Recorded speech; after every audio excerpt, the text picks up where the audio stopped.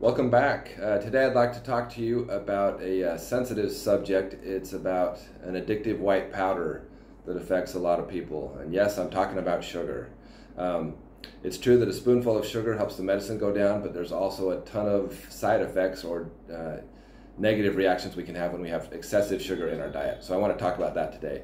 And I speak from this as uh, with experience. Um, maybe even as a little bit of a hypocrite because I have a sweet tooth. That's my that's my hard thing for me to deal with is sweets and things, desserts, things like that.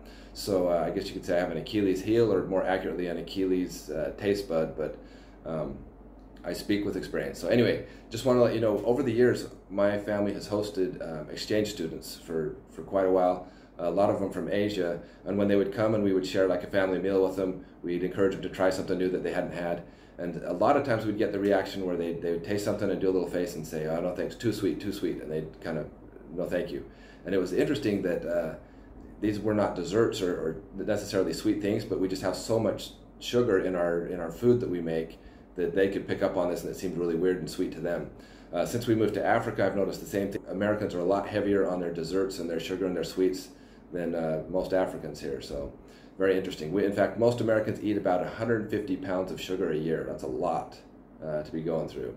So the problem with when we have excess sugar is it, uh, what it does obviously is going to increase our calorie intake. So it's going to bump up our possibility to uh, gain weight and get be obese. So that's one. It can also uh, affect or lead to or, or worsen heart disease and type 2 diabetes and cause tooth decay. As you know, since you were little kids, you're always told to brush your teeth and not eat a lot of sugar before you go to bed, things like that. So those are, are, are, some serious things. But also one I've noticed, my, my personal issue I have the hardest time with is I, I noticed inflammation and water retention. So if I eat something that's high in sugar, I'll wake up in the morning and my hands are like, you know, like gloves. It's like they're super tight and full of water. And, and so inf- inflammation is another side effect if you eat too much sugar. So we all know we should be eating less. I don't think sugar is totally evil and we should never have it. Um, I believe in moderation.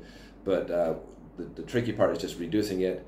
And the challenge with that is knowing how much sugar is in things because you can read a label, but the, the part the tricky thing with is uh, sugar is there are so many aliases. It's not just going to say sugar on there.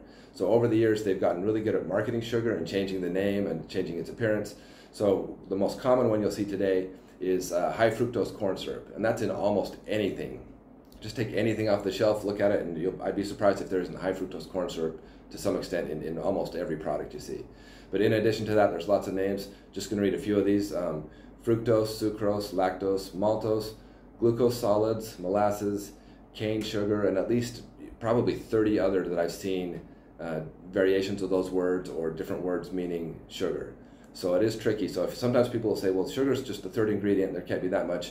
But then if number four, five, and six are also these other aliases, you're getting a lot of sugar in your food.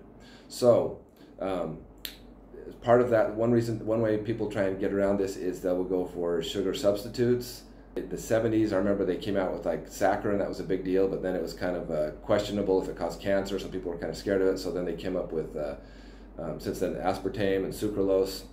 Um, some people try and get more, uh, I've, looked for other ways of, of uh, sweetening things. So there's things now like xylitol, agave, um, what are the other ones? Stevia, uh, and then some people will just use what for more just like natural sources. They're going to say say uh, things like honey or organic uh, maple syrup or dates to cook with, things like that. So everyone has their favorite sweetener if they're trying to replace sugar. The interesting thing though, there's lots of controversy about that. Everyone's opinionated, and some people think theirs is the best, and the others are horrible and will kill you. So it's just interesting. That's something you want to look into. But one thing we can all agree on is we, we need less refined sugar in our diet. We eat too much of that. So uh, we know that if we can reduce our sugar intake, that'll improve our health over time. It'll we'll have a healthier diet. We'll have less of those problems mentioned previously, and also fewer calories. So those are some things that most most of us could do with if we had less sugar in our diet. So I just wanted to encourage encourage you to be aware of that.